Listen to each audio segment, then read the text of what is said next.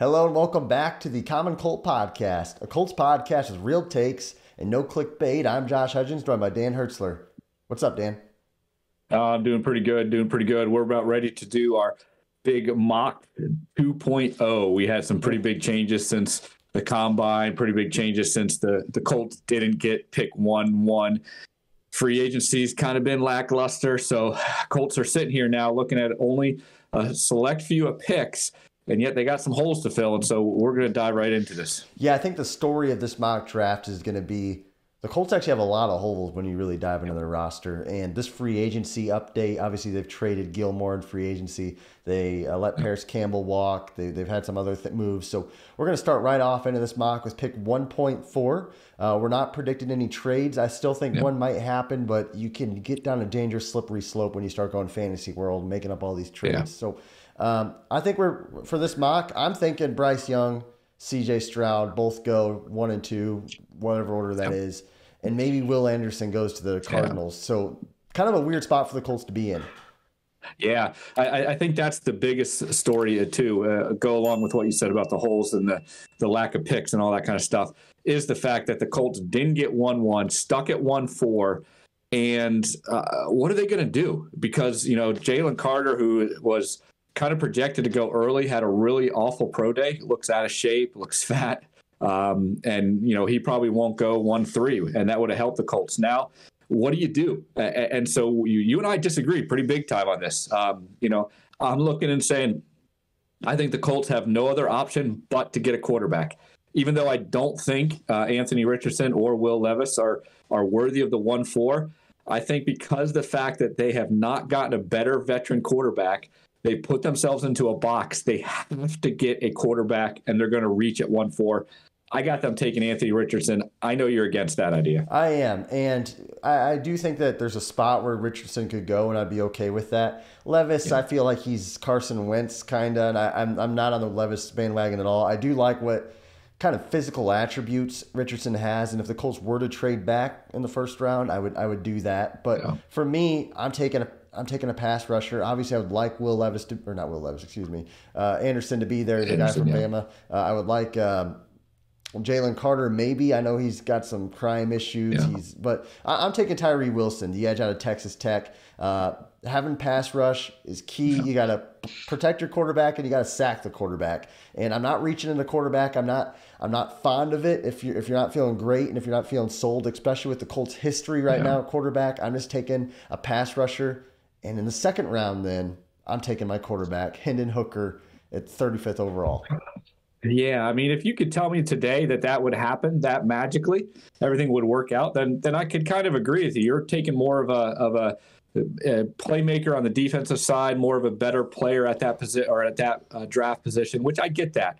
The problem is, I don't think you can guarantee that quarterback in the second round. And that is a huge gamble when all you've got is Gardner Minshew as your quarterback right now on the roster.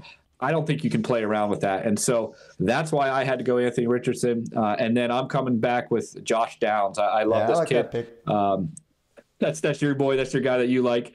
Um, you know, this kid out of North Carolina. I think he's the great slot receiver. And so I'm going right for quarterback and receiver. I'm hitting the two biggest needs that the Colts have, and I'm not playing around with any other games. Well, I think that if you get a quarterback one, definitely going receiver two. Now, if you don't take quarterback in the first round, then you got to. I think you got to take one next pick, uh, which is Hendon Hooker. I know he's getting he's kind of old for uh, a rookie. Yeah. Uh, the ACL thing doesn't scare me as much as it uh, maybe should. I, I think ACL injuries are not as big of a deal as they used to be. Uh, medical, I mean, these doctors have gotten good, yeah. and quarterbacks just, I mean, they're not running backs. Now Hooker does move around. He does take some hits he shouldn't. Um, I just I like taking that pick. The guy has 58 touchdowns in his last two seasons to only five interceptions.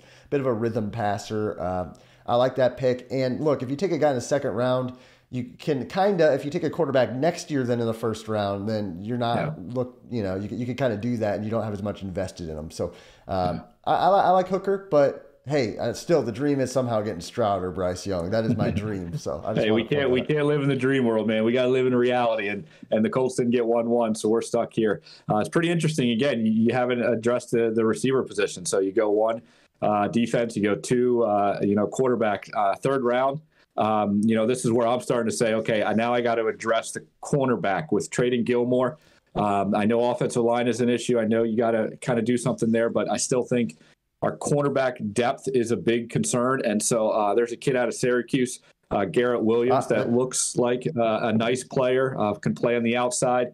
Um, you know, uh, again, a third round, fourth round, these are guys that you're, hoping can play in a really good draft. You hit on these guys and they become starters. To me, especially this round and next round, I'm doubling down on cornerback because we need to get one. Well, that's their biggest need outside of quarterback. I mean, they traded away their best corner, and Kenny Moore had a down year, and obviously Isaiah Rodgers, he's not proven. We kind of like him, but he's not proven anything.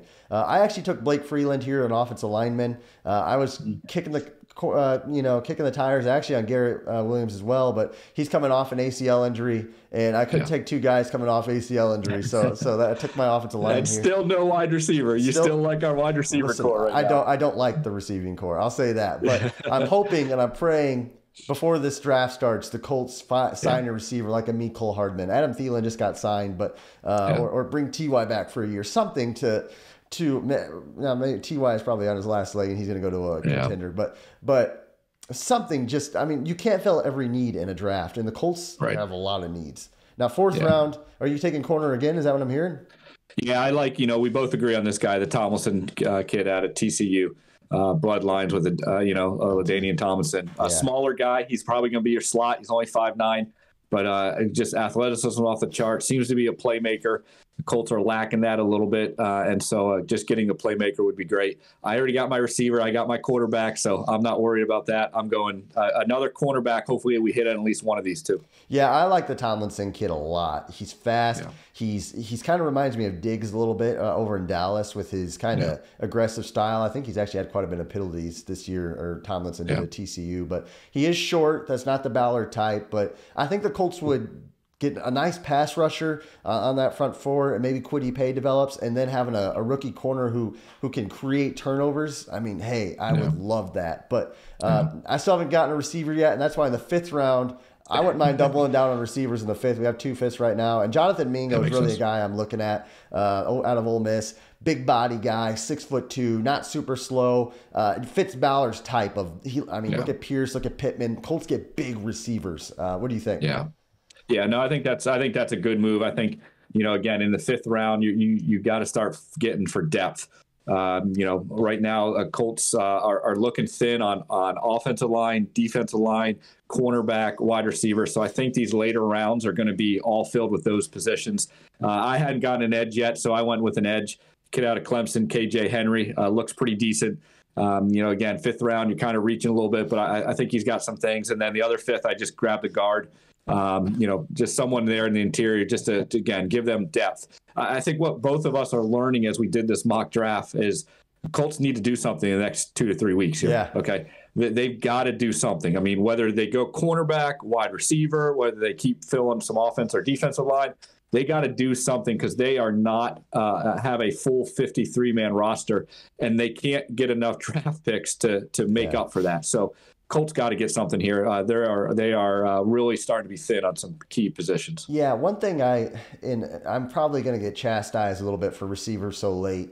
Um, yeah. I, I, have learned receivers are a little bit like running back, or they're, they're turning into that, where you can yeah. get a good guy later in the draft and, and be okay. Yeah. Now, if you're in the first round and picking in the teens, there are some big time receivers that you want to draft. But second, third, fourth round, I think I think you can get away almost with a lot of these guys are the same, and uh, there's so many of them that we see just come out of nowhere. So um, the Colts do have a lot of needs. I think this next few weeks in free agency is big. They still have some cap room and some flexibility. I like Mecole Hardman. They let Parris Campbell walk just to, just to add a little bit more playmaking speed to that core because they don't have that quite there. Um, yeah. But hey, we'll see. Uh, it's yeah. it's up to Ballard to figure this thing out, and uh, it's he's got a lot on his plate right now.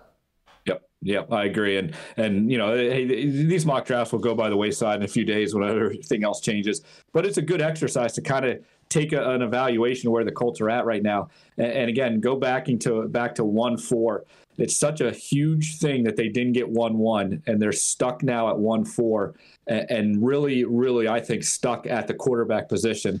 I think they put themselves into a box, and I, am really concerned that that that very first pick it's going to dictate the entire draft, as you've seen here. You know, we went two different directions our draft's going to be different directions. So whatever they do at one four Huge. is going to set up set up everything else for that draft. So big, and I'm excited to see it, guys. Let us know what you think. Comment.